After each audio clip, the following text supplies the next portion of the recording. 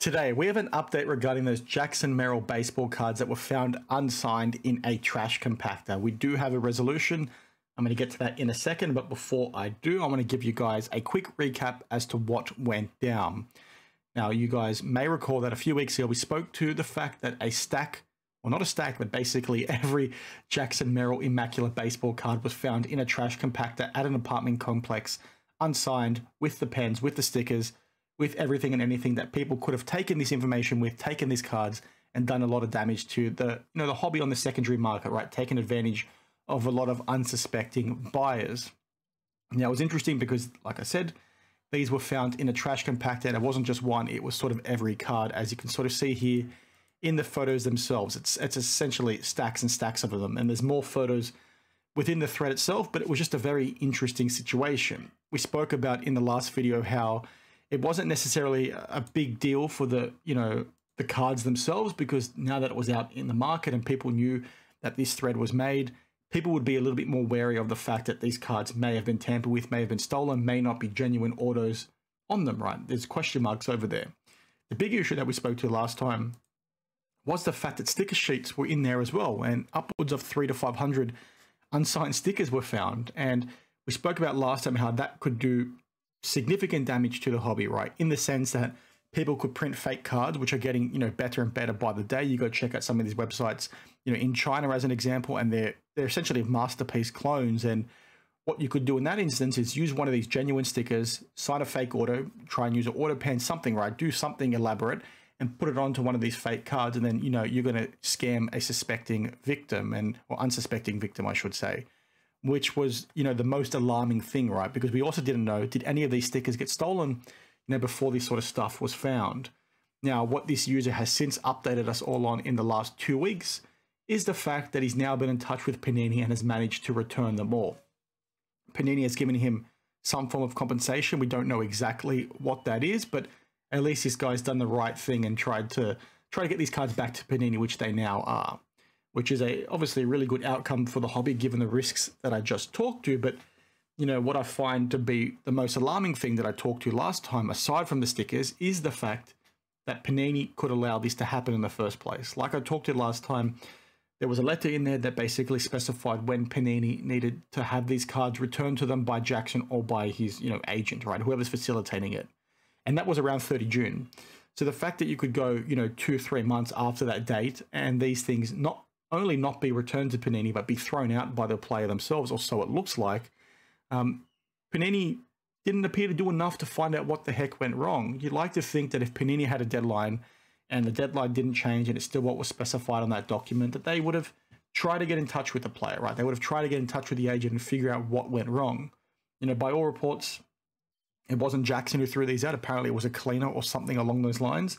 But still, Panini, you've got a deadline, right? How can you sort of allow this sort of stuff to happen, especially where, you know, you've got a sticker sheet within there that could be doing significant damage to the hobby? Like, yes, some people will say, well, it's not Panini's fault in this instance. Well, I think it, it is their fault. I've talked to this last time as well. These manufacturers use, you know, contractors to oversee these signing sessions. Like, you need to treat the process with a bit more respect, Panini Topps, because Topps also have the same issue. Like we talked to Topps with also their baseball cards, right? Where you had cards get backdoored and it looks like those cards were stolen by the person overseeing the signing session. It's like this stuff's happening, but you guys aren't showing the respect, right? You aren't treating it like you should. These cards are now very expensive compared to what they used to be. That's going to be something that annoys people because I say that all the time, right? But this stuff isn't cheap. And you need to, you know, make sure that the people overseeing this sort of stuff are number one, getting compensated to, to oversee the things they're now handling, right? Because when you look at the risk versus reward system, if they're not getting paid very much, and the cards are worth what they are, what do you think they're going to do? They're going to backdoor a few, or they're going to steal a few, or instances like this, not to take not take the the process super seriously, and then allow the cards to sort of get thrown away. Now, even if it wasn't the athlete's fault or the person overseeing its fault, the process needs to be treated with more respect, right? I I, I like to think that the the likes of these manufacturers need to be sending someone that's an, officially an employee of theirs to oversee this sort of stuff or organize signing session days, something, right? Because stuff like this is clearly not working and you sort of hear stories like this every now and then right it's becoming a little bit more frequent especially with with Topps and some of the issues they've had this is nothing new right because we've seen these issues come to light over decades right but it's just one that you know really concerns me because of the damage that could have been done. Right, some of these cards could have been backdoored. What if this person didn't show up on social media and say that he found them? Like eventually, Panini would click onto the fact that they never got returned because they are a redemption in the product. Right, I should have opened with that. But this guy, you know, could have signed one or two and just drip fed them into the hobby. He could have taken a sticker sheet, right? How do we know that every sticker sheet was returned? Or if he didn't make the post in the first place, he could have drip fed you know, fake autos out there into the public eye as well, or sold them to somebody that could have done a lot of damage with them as well. It's just one of those things that, you know, never ceases to amaze me within this hobby how about how these, you know, manufacturers and businesses just drop the ball like this, right?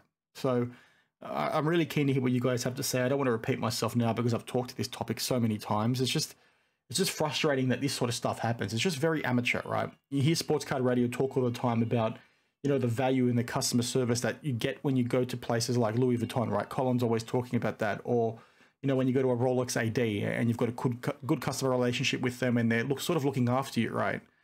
And yes, they're different services to a trading card manufacturer, but the fact that you know these guys want to set prices on these boxes and, and elevate the hobby to this new this new place, and they're allowing amateur mistakes like this to happen, it's like this is something that should never happen. Like it should literally never happen yet it does. And it happens, you know, almost once or twice or three times a quarter, right? You hear stories like this all the freaking time. So it's like, what are they actually doing to make sure crap like this doesn't happen again? And for those of you that are going to be Panini haters, like I, I mentioned, Topps have the same issue when it comes to those Topps Chrome baseball cards that were stolen six months before the product got released, right? I say that all the time. They were stolen six months before the product came out, and they were being listed on eBay six months before the product came out. And there's people out there that are tracking these hits in the product, and the players that went missing are not showing up in the product, which means Topps didn't replace them, which means Topps has gaps within their checklist and they've not updated or told anyone about it.